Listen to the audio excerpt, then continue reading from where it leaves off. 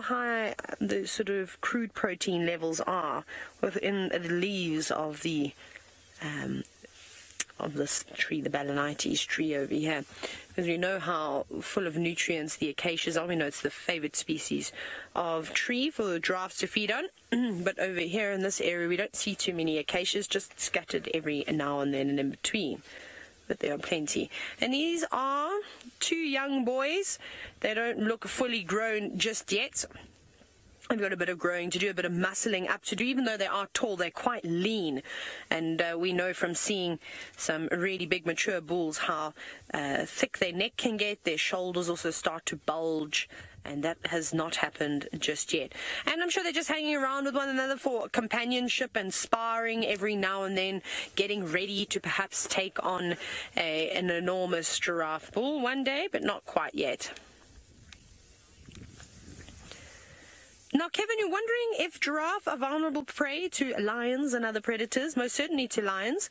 And interestingly enough, they were. So I saw, well, Sebastian and I found a dead giraffe in the reserve, and then we don't know what happened to it. It had a big bulge on its neck. We don't know if it was struck by lightning or if it was killed by another male in battle, which is very rare to actually see. And and then we heard of another sighting of another giraffe that had been taken down by lions, and not too far. It was just not in a good signal area so we couldn't go there, unfortunately. So they do hunt them when they can, but it can be a bit tricky. You, will find that you need lions need to have specialized in hunting giraffe. It's not something you can just go, yeah, you know, today I'm so sick of the wildebeest and the zebra. I'm going to go and get some giraffe. It's dangerous for the lions to do something like that because they'll be inexperienced and the hooves of a giraffe are very powerful. And if you get kicked or if you get chopped by a hoof and you hit in the wrong space, it quite easily kill a, a lion. So, so it all just um, depends, of course.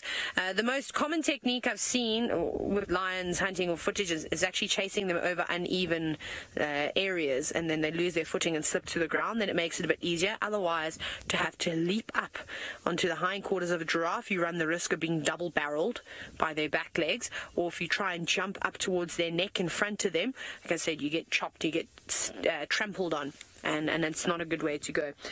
Uh, an adult giraffe, pretty much its only predator is going to be a lion, a hyena, a clan of hyenas, regardless of how big it is, they're not going to be able to take down an adult giraffe. But young giraffe are a big, big problem. Uh, often hyenas will ha- uh, harass a female that's just given birth and then end up losing their calf, which is very sad. But I can see Jamie in the very far distance. Can you see her, Sebastian? Down there to the left? I'm pretty sure that's her. I know she was on a mission to try and find some elephants this morning, and she was successful, and it seems as though they're walking right past her.